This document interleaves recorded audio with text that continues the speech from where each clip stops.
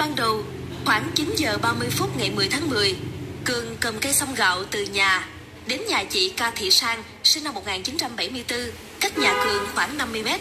Thấy chị Sang đang ngồi giặt quần áo trước nhà, Cường lao vào dùng cây xong gạo đâm hàng chục nhát vào người chị Sang khiến chị tử vong tại chỗ.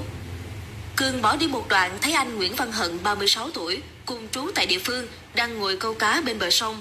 Cường xông đến đâm anh Hận trọng thương. Anh Hận nhảy xuống sông thoát thân. Không dừng lại, Cường quay lại chỗ chị Sang đang nằm bất động. Thấy ông Ca Văn Thời 69 tuổi, cha của chị Sang, đang đứng gần đó. Cường rượt đuổi đâm ông Thời nhiều nhát rồi bỏ chạy về nhà thì bị mọi người bắt giữ. Còn ông Thời và anh Hận được người dân đưa đi cấp cứu kịp thời nhưng đang trong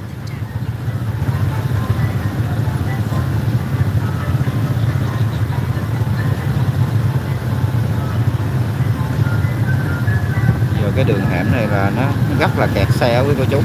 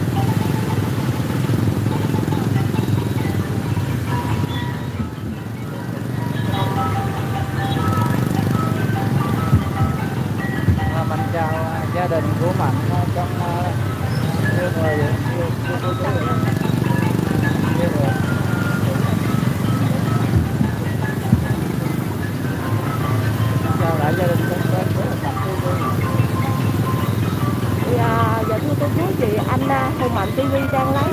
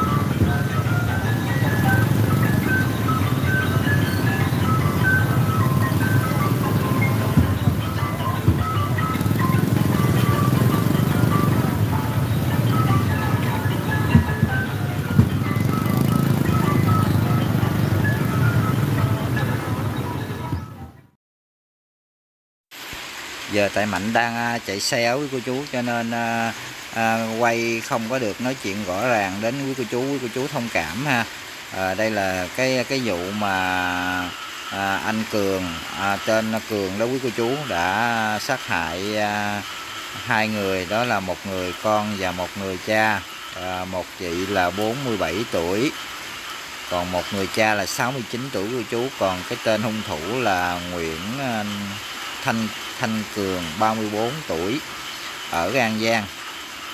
Đây giờ bắt đầu đưa về à, nhà là có nay mai sẽ là à, làm à, tang lễ à, mạnh sẽ quay ra à, cận cảnh tang lễ để gửi đến à, quý cô chú anh chị.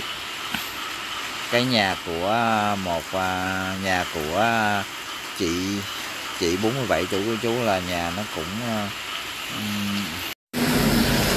đây à, một người cha quý chú. Người cha là chở tới à, bệnh viện à, bác sĩ à, làm hết khả năng, nhưng mà đã mất máu quá nhiều, cho nên là không qua khỏi. Còn một người đứa con gái là chị 47 tuổi là chết tại chỗ luôn. Sau đó là anh, ông, anh Nguyễn Nguyễn Thanh Cường 34 tuổi đã đi đi một đoạn đường gặp một anh trai đang ngồi bờ sông câu cáo của chú. Là anh Cường cũng đã cầm đâm anh nhưng mà hên là anh anh à, ngồi bên à, sông câu cá không sao.